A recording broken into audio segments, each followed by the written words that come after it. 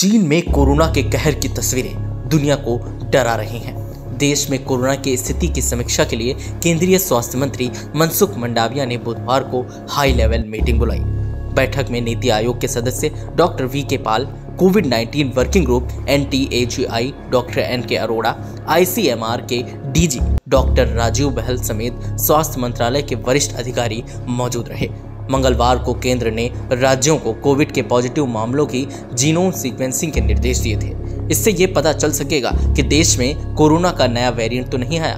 भारत पर किसी तरह के खतरे से हेल्थ एक्सपर्ट्स फ़िलहाल इनकार कर रहे हैं। हालाँकि एक्सपर्ट्स ने सभी को सावधानी बरतने की नसीहत भी दी है।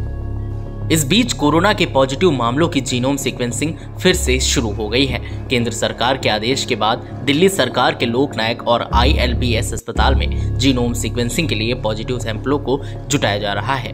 लोकनायक अस्पताल के निदेशक डॉक्टर सुरेश कुमार ने बताया कि पॉजिटिव सैंपलों की जीनोम सीक्वेंसिंग की दैनिक आधार पर जीनोम सीक्वेंसिंग की जाएगी।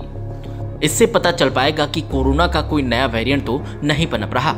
गौरतलब है कि जापान, दक्षिण कोरिया ब्राज़ील, चीन और अमेरिका में कोरोना के नए मामले चिंताजनक तरीके से बढ़ रहे हैं। पिछले कुछ दिनों से कोरोना आंकड़ों पर नज़र डाली जाए तो पिछले हफ़्ते संक्रमण के चलते भारत में बारह मौतें दर्ज की गई हैं। पिछले तीन दिनों में एक भी मौत का मामला सामने नहीं आया है। मार्च 2020 के बाद दैनिक मृत्यु के मामले में ये सबसे कम है।